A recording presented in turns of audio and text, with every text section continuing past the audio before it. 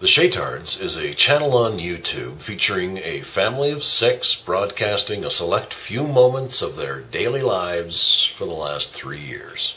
If you've been watching as long as I have, you've seen Shay go from a chubby ninja roof hopping type of guy to a very fit multi marathoner. Recently, a part of their address was shown very briefly on a, uh, daily vlog of theirs, and a editor corrected it, but not before someone found their address uh, using Google Street View, I guess, uh, to, and they posted their address in the comments of that video.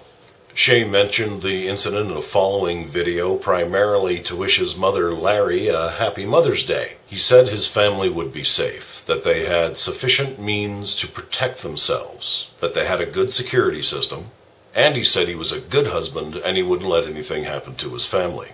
Meanwhile, in the background, Shay's brother Casey was making pistol gestures with his fingers and making gunshot noises. The purpose of this video is not to place any blame. If that were my purpose, I would place blame on the person that posted the address in the comments. That's not why I'm making this video, but it does illustrate my point.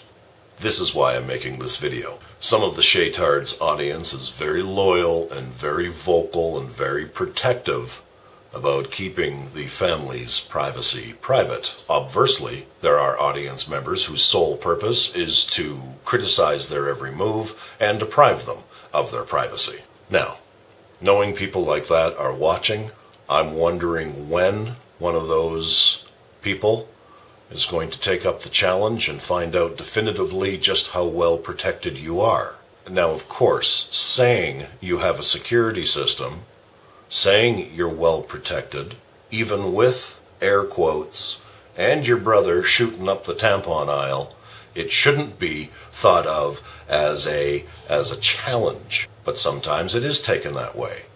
Sometimes people think that Jodie Foster will be impressed if they shoot Ronald Reagan.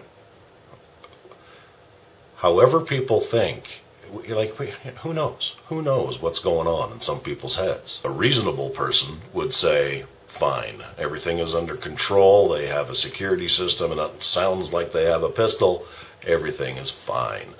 New video next day it's over with. However it's not the reasonable people that i'm concerned about. Let me qualify my comments by saying this okay? Because the tone of this video is a little dark I wish nothing but success and happiness for the Butler clan, and I want them to continue doing what they're doing with Maker Studios and with uh, the daily vlogs for as long as possible. Nothing lasts forever except families. I like to see the kids grow up, and I, I want to continue to do that. Uh, I've I've been around the block a couple of times, and I've seen the extraordinary things that people can do, both good and horrible. And uh, it's the horrible things that concern me. Uh, I know it's your job to downplay these things, um, and I hope all sorts of things are going on behind the scenes um, that we don't know about. Some of you guys just love the drama. I'm not gonna lie. Not gonna lie. Come on, be honest. Some of you guys are really freaking out about nothing. So tell me, am I loving the drama like Shay says, or do I have a legitimate concern?